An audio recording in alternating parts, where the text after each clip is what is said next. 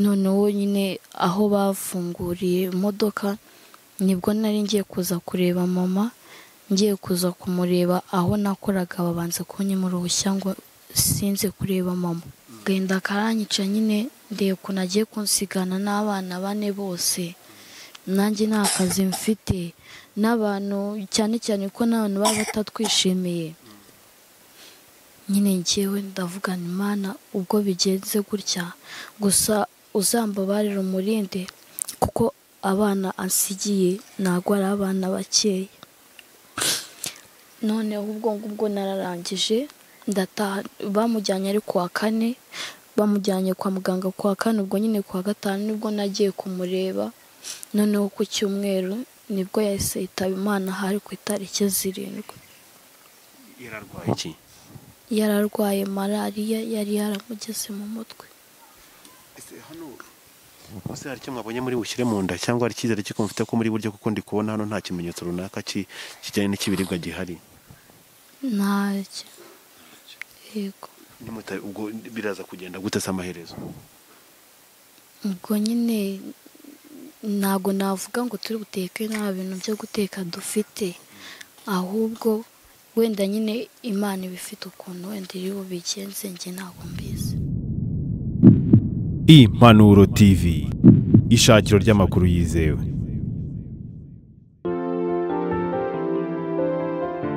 Oh haleluya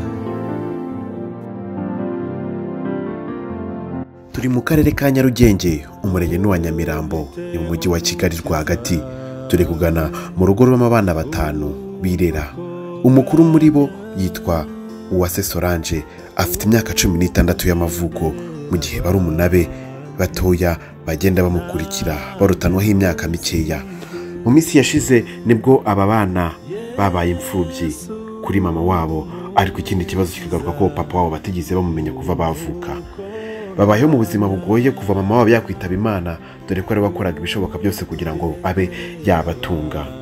Ubwo twamenyaga ibyerekeye ubuzima bwa bano bana nk'impanuro tv twafashe akanya kugira ngo tugere aho aba bana batuye tubashe kumenya byinshi cyane byerekeye imibereho yabo.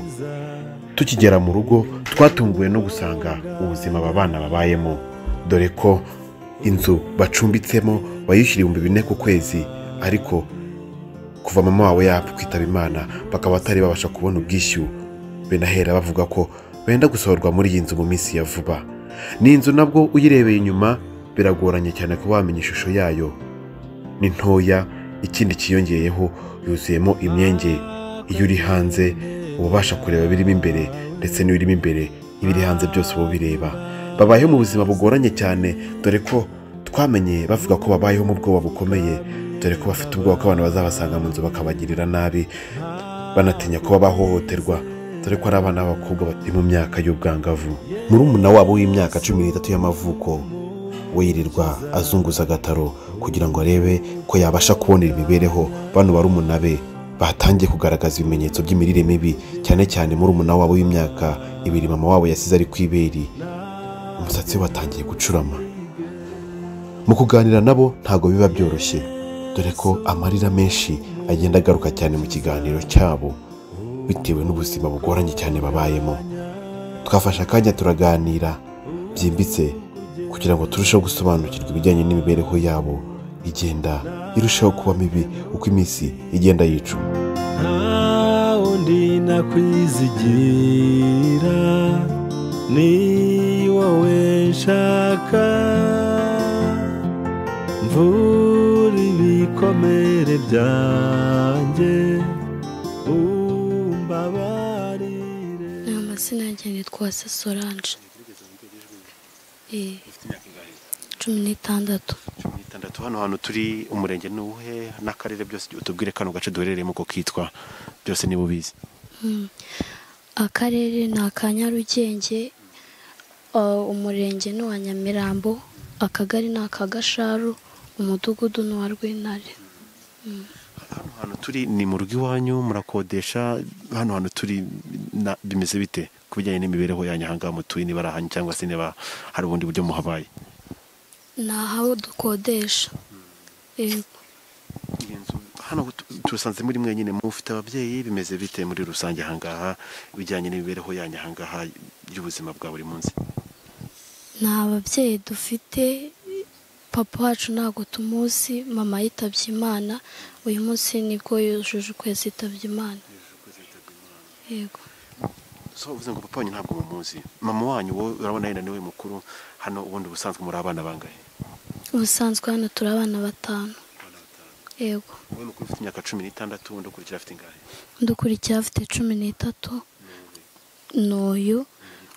Yitwa umumarashavu farine ni umuhungu yego.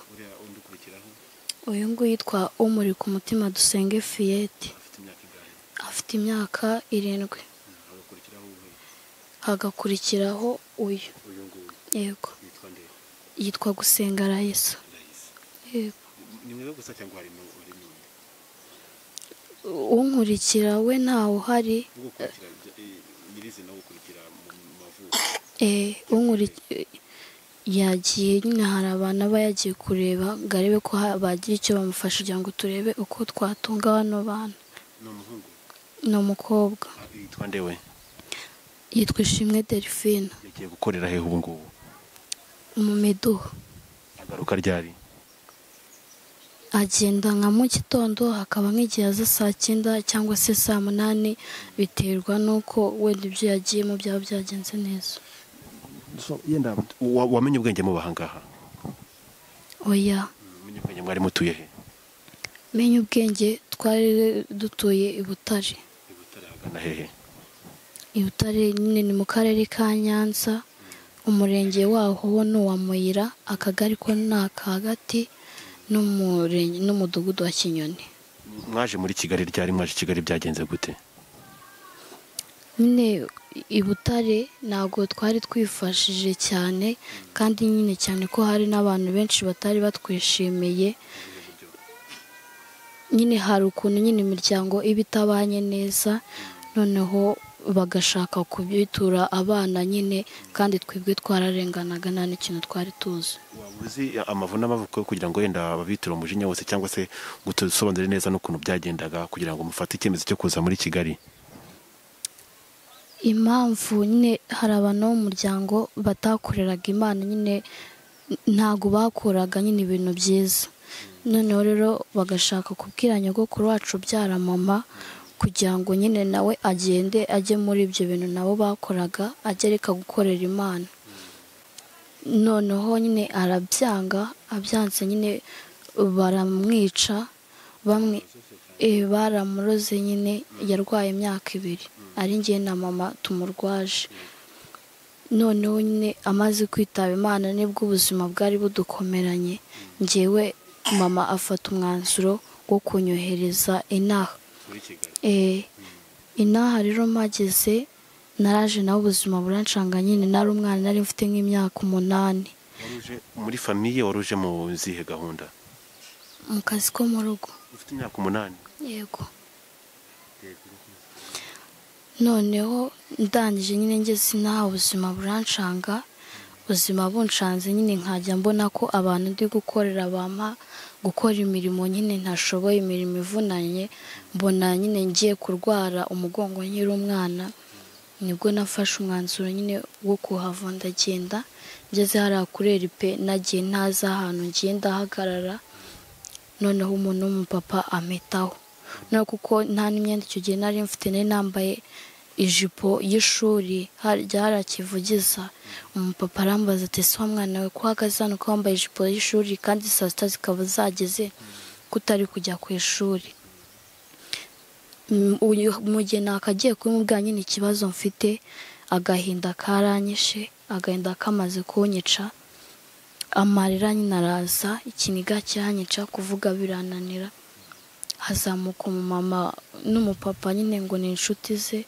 Bambaza nawe ikibazo mfite ikibazo mfite ndakibabwira banyaka nimero za mama za telefone mbaha nimero z'umuturanyi uwo muturanyi ni we wabashije kubahuza na mama bamubwira ko nyine ari umubyeyi anjyanye azanshyira no mu ishuri. Narahagiye ndahaba nkijya mu ishuri ubwa mbere na mbere ni abo bantu bari banshyize mu ishuri. Mama wawe ni we wari ukoresha gukora akazi ko mu rugo ninde muntu wakuzanye muri kigali nyirizina icyo gihe? Ubundi mama ajya gufata umwanzuro wo kugira ngo avuge ngo ningende njye mu kazi ko mu rugo. Ntago ntago ari impamvu nyine zari zimuturutseho nawe. Nanjye nyine bari barashatse kungirira nabi. Nyine barandoga ndarwara narwaye umwaka wose nta kintu nshyira mu kanwa. Mama aravuga kugira ngo umwana wanjye bazamwicirika ndebe ukuntu namucikisha abantu bakiri muwe ni benshi wenda nawe nubwo ubuzima bwamucanga ariko atamfire mu maso igihe gishobora kugira akaba yagira amahirwe. Yes. nuko rero ha- mama wawe yaje kuza muri kigali ryari? Icyo gihe mwongeye kubana ryari? Bano bana bageze muri kigali ryari? Ngira ngo bose dusobanurire kugira ngo tumve neza. Njyewe naraje ngeze n'aha nahamaze imyaka itatu. Noneho mu kuhamara iyo myaka itatu nyine ngiye kumva numva ngo mama nawe yaje n'aha. Eh, njye ntabwo nari mbizi ntabwo yari yarabimbwiye noneho numvise ngo yaraje njye ngira amatsiko yo kumenya ahantu ari. Noneho mu kumenya ahantu ari ni bwo ni bwo nyine nanjye navuze ati reka ngende njye kureba ahantu mama ari. Noneho ngende tubane n'ubundi nk'uko twari tubanye na mbere. Icyo gihe yaje uyu mwana w'umukobwa we yari akiri mutoya ariko yari afite n'inda y'uyu mwana nawe yari ari hafi kuvuka uyu we yavutse tugeze naho. Ego Ni- wa- waje kubana na mama wawe ryari? Naje kubana na mama nyine nsanga aba hano aba muri iyi nzu noneho ndangije nyine ndavuga ati uko byamera kose ntabwo nakishimira kuba ahantu mu bakire mama ari mu buzima bubaye nka kuriya. Reka ngende nanjye njye kubana na mama ni bwo naje. Ishuri waremeye rivamo uza kubana na mama wawe? Yego. None se batuye ngo papa wanyu ntabwo mumuzi? Papa wawe ntabwo umuzi wowe?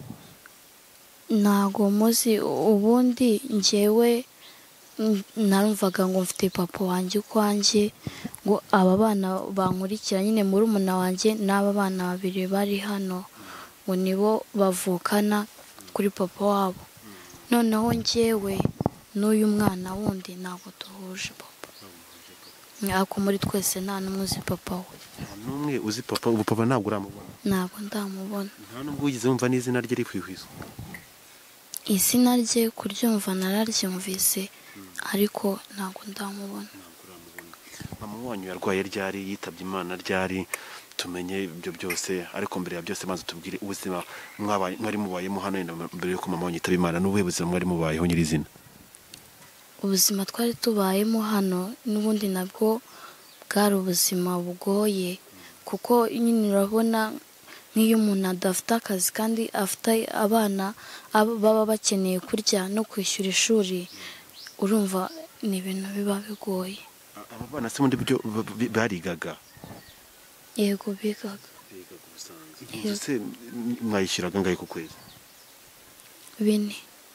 Kuva mama yakwitaba imana se mwari mwayishyura n'umunsi warimo? Oya. Ba nyirayo se bababwira ko bizagenda gute?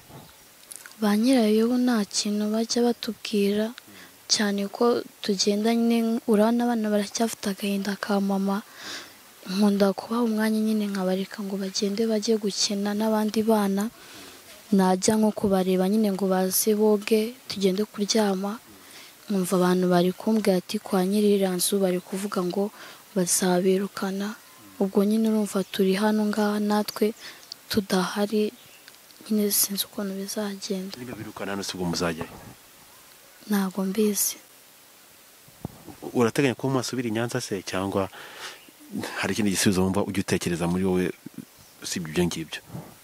Ntabwo ntekereza ko twasubira i nyanza cyane ko n'ubundi mama nawe agihari nawe ntabwo kuba yari ariyo yari abyishimiye ahubwo njyewe nk'igitekerezo mba numva ko ngomba kugira nagiye ndeba kuri yutubi abana b'imfubyi benshi cyane bagiye bafashwa abana bakorewe ubutabazi usibye n'abana n'abantu bakuru nabo badafite uko ubushobozi nyine bukorera ubuvugizi nyine bakagira nk'icyo bageraho. Kuko urabona njyewe nta kazi mfite. Ubusanzwe ukora iki ukora kugira ngo bawe babashe kugira icyo babona cyo kurya cyangwa n'ibindi bakenerwa bya buri munsi? Nta kintu nkora ahubwo wenda hari nk'igihe nk'abaturanyi baza kudusura. Baza kudusura nyine hakagira nk'umuntu watuzanira wenda nk'ikiro cy'ifu wenda akaduha n'ibiceri desa nuko tugateka nyine nkagaburira abana. Muheruka kurya ryari utubwije ukuri? Ejo saa sita. Ese hari icyo mwabonye muri bushyire mu nda cyangwa hari icyizere cy'uko mufite ko muri buryo kuko ndi kubona hano nta kimenyetso runaka ki- kijyanye n'ikibiribwa gihari? Ntacyo yego. Ubwo biraza kugenda gute se amaherezo? Ubwo nyine ntabwo navuga ngo turi buteke nta bintu byo guteka dufite. Ahubwo wenda nyine imana iba ifite ukuntu wenda iri bubigenze njye ntabwo mbizi. Mama wanyu yitabye imana ryara turi ko ashize ukwezi byagenze gute? Yari arwaye cyangwa n'ubundi buryo duhe ayo makuru neza tu- tubyumve? Yararwaye arwara ariko njyewe ntahari nari naragiye mu kazi ko mu rwara Kimironko noneho mu gihe numvise ko nyine mama arwaye nyine ni cya gihe imodoka batari bakazifunguye eh, muri cya gihe cya korona nyine nanjye nkabura uko mbigenza nkabwira abaturanyi numvise ngo mama yarembye mugende mu ndebere noneho ubwo nyine baza bagasanga arwaye nabo nta kintu bafite bari bubikoreho noneho nyine aho bafunguriye imodoka ni bwo nari ngiye kuza kureba mama ngiye kuza kumureba aho nakoraga babanza kunyima uruhushya ngo sinze kureba mama. Nyine agahinda karanyica agahinda kamaze kunyica mbura uko mbigenza ndamubwira imana ni gusa mana birebe ni wowe utegeka byose ngewe nk'umwana w'umuntu ntabwo nabona icyo nakora. Aho agahushya bakamereye ni bwo umuturanyi yamamagaye arambwira ati mama wawe ngo byakomeye ambiranse ije kumufata mu rugo bagiye kumujyana kwa muganga.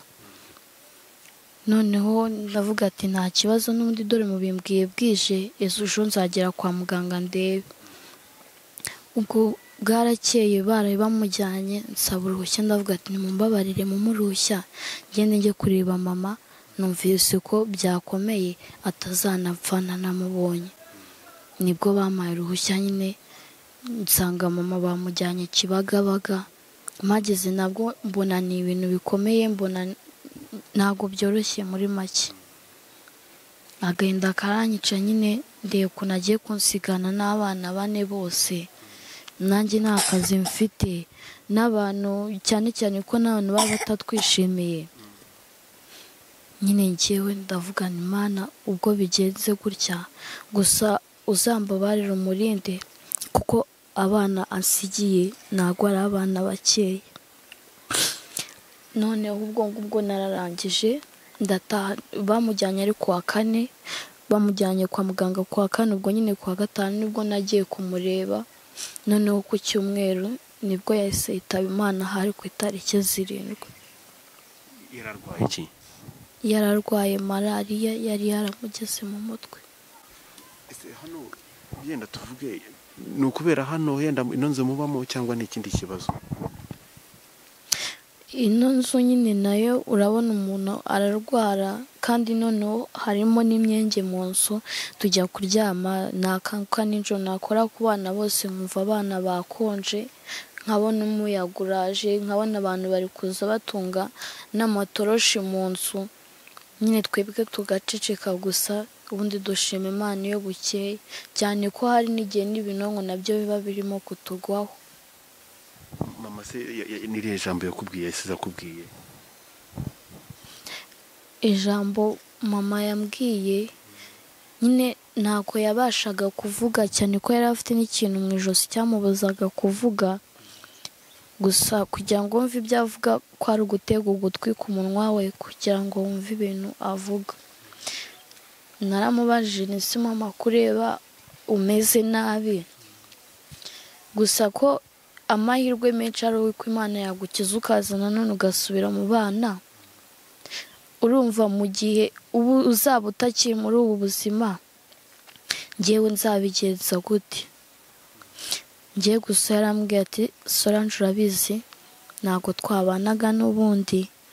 Ariko wowe uzakore ibishoboka byose. Uzamenye abana ni wowe mama wabo ngo usigiye ni nawe papa wabo.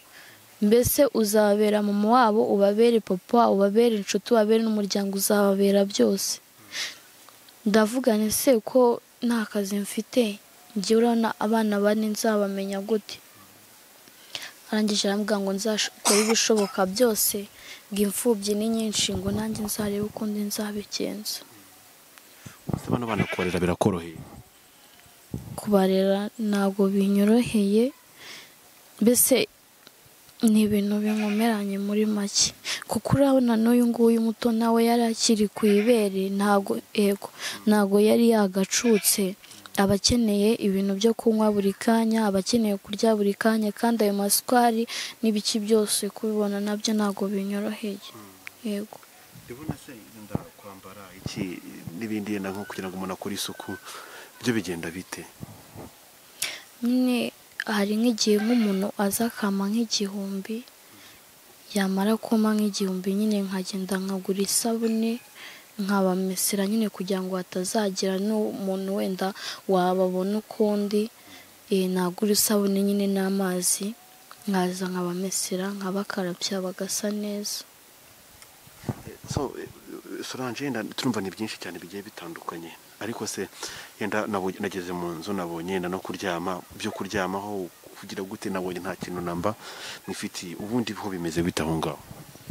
Ibintu byo kuryamaho ubundi ibintu byinshi twarabigurishije kubera ko nyine mama yari arwaye nta n'amafaranga dufite ibintu byose twarabigurishije nta kintu na kimwe dufite. Mugira telefone se? Oya nta telefone mfite nkoresha iy'abaturanyi. Koresha iyo baturanyi iyo umuntu ufite se yagiye? Iyo twari dufite nyine na yo twarayigurishije mama arwaye. Uyu munsi icyifuzo cyawe ni ikihe yenda? Turetse n'ibindi bigiye bitandukanye ubundi ubuzima burakomeye icyifuzo cyawe ni ikihe? Yenda nawe uvuga ati mu buryo runaka nanjye yenda bino bintu biramutse bikunze byamfasha kugira icyo mfasha barumuna banjye ntagiye mu zindi ngeso mbi. Kuko wenda uravuga ati kugira ngo mbarere ni ukwitanga ejo bishobora no kuzarangira yenda ukoresheje izindi nzira zitari nziza kugira ngo batunge ariko kugira ngo twumve icyifuzo cyawe ni ikihe kugira ngo ubuzima bwa bano bantu mu bana bano barumuna bawe n'ubundi bugende neza? Icyifuzo cyanjye ni uko nyine mwankorera ubutabazi ubundi ngiye akenshi na kenshi nk'iyo ndebye ukuntu barumuna banjye baba barimo kumera nkabona ikibazo cy'inzara cyangwa se iki njye mba numva najya no mu bindi bintu bindi bitari byiza kugira ngo ndebe ko bagira icyo bageraho. Reba nk'uyu musaza wanjye nimugoroba yaraye yuriye hejuru y'inzu agiye kumanura umupira w'uyu mwana. Agiye gusubira inyuma gutya kuko yumvaga agiye kugwa ibati rihita rimunyuramo mu gatoki karacika. Yego uyu nguyu.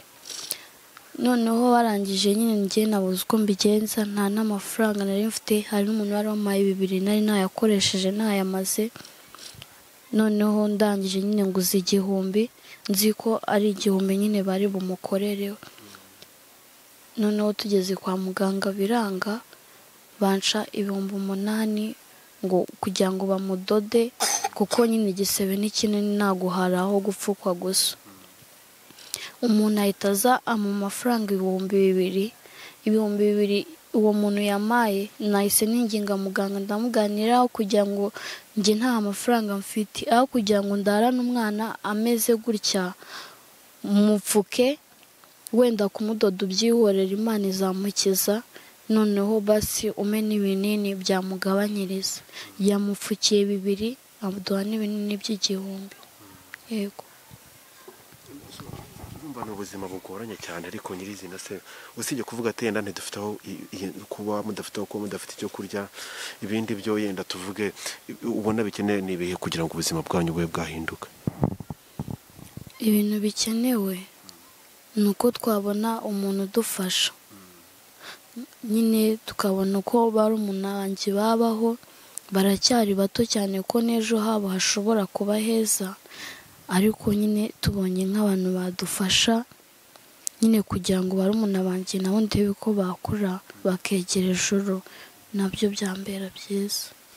Muri uku kwezi gushize yitabye imana mama wanyu nta inzego z'ubuyobozi z'ahangaha cyangwa se n'abandi yenda bashinzwe by'imibereho myiza y'abaturage ntabarabageraho ntabaragira icyo babaganiza ngo bageze icyifuzo cyanyu. Se nta rwego rw'ubuyobozi muregera rw'umurenge kuko nabonye nubwo mutagira neza ariko urwego umurenge uri hafi mwari mwagiye ngo mujye kubabwira ibibazo byanyu? Ubundi hano ngaha duturanye n'umuntu nyine wo mu isibo. Wenda agenda najya kumubwira ikibazo cyanjye akambwira ngo nimuve imbere kavuga ngo ibyo ngibyo ngo ntabwo bindeba mbese akambwira nabi cyane nyine ibintu ngiye bitanshimisha kuri njyewe ariko mwihangane nyine nkamwihorera. Noneho rero abo bantu bandi bo mu mudugudu mama akimara kwitaba imana bari baje batuzaniye ibintu byo kurya ariko nyine na byo urumva mu kwezi kose bazanye ibikeya nyine byahise bishira. Eh, rimwe na rimwe dukunda no kubahamagara cyangwa twanahura ntibagire ikintu batubwira bakatwihorera. Ku ruhande rumwe yenda kadufate kano kanya twumve yenda ibindi byifuzo ukeneye bitewe ni- na buno buzima ubayemo cyangwa se nk'irindi jambo ufite ku mutima wadutangariza kugira ngo dusoze kino kiganiro twagiranye utubwireho nta kibazo. Icyifuzo cyanjye ni uko nagiye ndeba abana benshi bagiye bafashwa n'abantu bakuru bagafashwa bakabona ubutabazi. Nanjye rero ubutabazi numvaga nshaka ni ubw'uko badufasha bamara kudufasha nyine kuko nyine n'imana na yo yazabahemba. Kuko kurera abana bane bose kandi nanjye ndacyari umwana nari nkeneye kurerwa ntabwo ari ibintu binyoroheye. Rero mudukorere ubutabazi turebe mutuburebere wenda abantu badufasha kuko n'amashuri agiye kwegereza abana batangiye kwiheba bavuga ati se solange kubona nta mafaranga ahari tuzasubira mu ishuri gute? Ibyo nyine na byo bikabatera kwiheba cyane kuko iyo barebye ukuntu bashobora kuva mu ishuri bangana gutya na byo ntabwo bibashimisha. Rero icyifuzo cyanjye ni icy'uko mwadukorera ubutabazi nyine mukatureba ko mwatubonera abantu badufasha? Yego. Tugushimire by'umwihariko ariko tumenye se abo bene banyu bari i butare cyangwa se aho nyanza nyine nyirizina bo mujya muvugana cyangwa no mu muryango wigeze ubageraho kuva mama wanyu yakwitaba imana. Nta muryango n'umwe wigeze utugeraho nta n'abigeze baduhamagara. Yego. Reka tubashimire rero abantu bari badukurikiye tubashimire ko mwabanye natwe tubashimire kandi ko hari igitekerezo runaka mugiye kudufasha kugira ngo mutwungure tube twasangiza uyu muryango. Byose we ari gusinzira. Yasinziriye. Mhm. asinziriye uramuryamisha se? Ko banze kumuryamisha ndabona ari gusinzira. Harya afite imyaka ingahe? Ibiri. Mu buryo bwo kugira ngo dusobanukirwe neza ibijyanye n'imibereho n'ubuzima bwa bano bana rero umwe mu baturanyi ba hano yemeye ko tuganira ariko reka banze tubwire amazina ye kugira ngo tubanze twumve yenda icyo azi ku bijyanye n'imibereho n'ubuzima bwa bano bana. Muraho neza? Yego yego. Amazina yanyu ni ayahe? Yanjye nitwa mukandahiro serafine uyu muryango wa bano bana Solange ahagarariye abereye mama akaba na papa we ku myaka cumi n'itandatu urawuzi uwuzi gute nk'umuturanyi wabo? Ngewe niga kubabona. Nabanye na mama wabo. Tukajya tujyana gukora gukora ikiraka tugataha saa sita twakoreye inote y'igihumbi. Ubwo nyine turagumya turabana mu buzima busanzwe. Igihe kigeze aza kurwara amaze kurwara biba ngombwa yuko ajya kwa muganga. Yagiye kwa muganga mperuka agenda ntiyongeye kugaruka. Bwabo uyu hano babayeho gute abana ubuzima buhagaze gute ibijyanye n'ubuzima bwabo? Ni ukuvuga ngo nk'uko duturanye ufite magana abiri aramuhereza akabasha kubona igiceri cyo kuvoma amazi no kugura agasabune. Inzu aracumbitse nyine urabona ko bacumbitse. Icyo ubona yenda nk'umuturanyi umwe mubyeyi yenda utuye hano hafi wareba urabona bano bana bakeneye iki? Byabasubiriza nk'ibijyanye n'ibibazo n'imibereho yabo kugira ngo nabo ni rwanda rw'ejo ni abana b'u rwanda n'abejo bazabashe kuba ba- babasha gufasha u rwanda mu iterambere hamwe n'abandi banyarwanda. Rwose ko mbibona bakeneye ubufasha bakabasha no kubona uko bajya mu ishuri. Ese nuko bimeze rero ibinyago byinshi cyane mwabyumvishe ni umuryango w'uyu mwana n'usigayemo ni we mama wabo ni we papa wabo yitwa Solange afite imyaka cumi n'itandatu ari gukurikirana barumuna be bane mu gihe umuto afite imyaka ibiri n'ubuzima bugoranye cyane. Rero ugeze n'ahantu n'ino nzu yabo babamo fata akanya gato tuyibereke ukuntu imeze tubereke buri kimwe cyose uko giteye gusa n'ubuzima bugoranye kurya ni ikibazo. Ibindi byose nkenerwa bya buri munsi kugira ngo babashe kwibona na byo ni ikibazo. Ariko ni byinshi cyane umuntu abona ariko hari ibyo umuntu agira akaba yabura n'icyo yasobanura kugira ngo abashe kumvikanisha ikibazo runaka aba ahuye na cyo mukomeze mugire ibihe byiza rero mukomeze mubane natwe kandi gahunda zanyu zikomeze kugenda neza. Iyi ngiyi yo ni ifoto twifotoje mama amaze gupfa kugira ngo tuyizayigire urwibutso. Iyi ngiyi. Eh, wa mwana wa kane ni uwuhe muri aba ngaba? Uwa kane n- u- uwa uwa gatanu okay yego. Wa wundi udahari ni uwuhe? N'uyu okay Mhm. iyindi ni iyihe? N'iyi Mm. iyi na yo niyo nifotoje maze nyine kumenya ko ubuzima bwose bubaho ngomba kwiyakira nyine. Eh, iyi ngiyi na yo niyo mpamvu nayifotoje Eh, iyindi ni iyihe?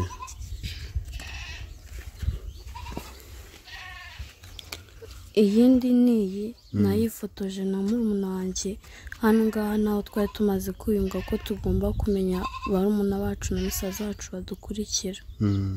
yego.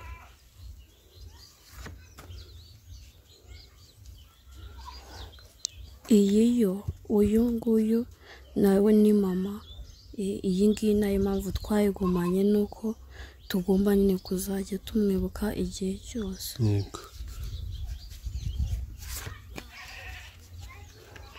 N'iyi na yo ni iya mama Mm. iyo ni iya mama nanone Mm.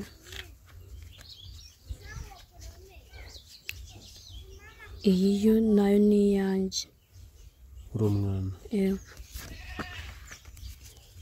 iyi na yo ni iya murumuna wanjye undi nababwiye udahari Mm. yego n'iyi n'iyi n'iyi na yo ni iyanjye Mm. Mm.